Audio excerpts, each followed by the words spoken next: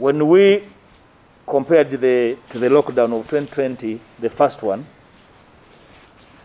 the citizens are now in more vulnerable conditions, characterized by collapsing businesses, lost employment, and subsequently struggling households, as we all know. While addressing the media at Parliament, the leader of opposition Mathias Mpuuga stressed that the government revisits the excise tax on rent, which is at 30%, and that of fuel at 100 shillings until the lockdown is eased. Closure of businesses is reducing ability of the lockdown subjects to earn and survive amidst inadequate social protection. We all know the fragility of our social protection systems.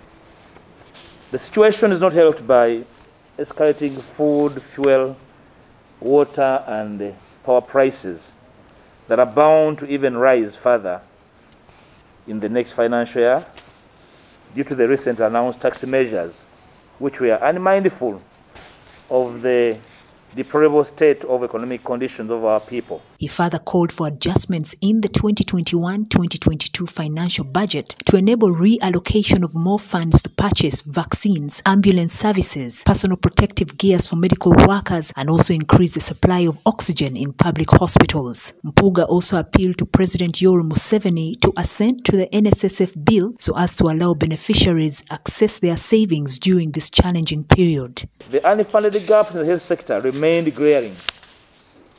And given the intensity of the pandemic, as envisaged in other countries in our same economic status, more effort would have been geared towards funding and purchasing of vaccines, ICUs, oxygen plants, ambulances, drugs, among others, including PPEs for health workers. The opposition has also welcomed the government's move to send cash to poor Ugandans during the lockdown. Meanwhile, Mpuuga has appealed to the government to reinstate the cluster border restrictions and 14 days mandatory quarantine for all incoming travelers. He says if the government had not relaxed in implementing the previous measures, the second COVID wave surge wouldn't have affected Ugandans as much. The same measures initially undertaken at entry points should be reinstated.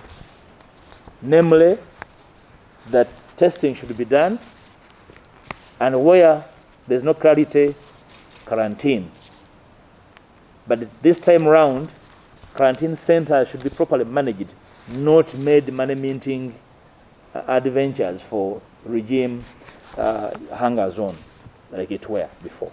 NRM MPs have also petitioned the Prime Minister Robina Nabbanja over the exorbitant charges that are being slapped on patients in private hospitals that have led many to lose their lives. This story was compiled by Rachel Nakasi and Obed Lutale at Parliament.